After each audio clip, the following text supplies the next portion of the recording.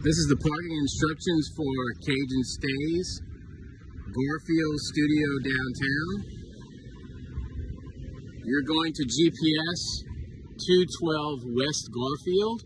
The actual address is 210 West Garfield. 210 West Garfield will actually take you to a different place. Um, you're going to park and GPS Google Maps 212 West Garfield. And you're going to park here as far to the right as possible in this driveway. You're going to pull up as far as possible.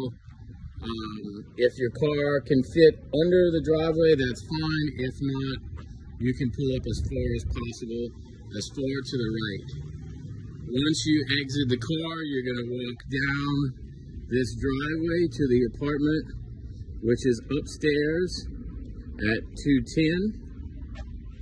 You're going to open this green gate and walk up the steps.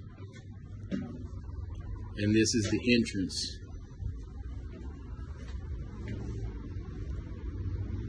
And the keypad door is right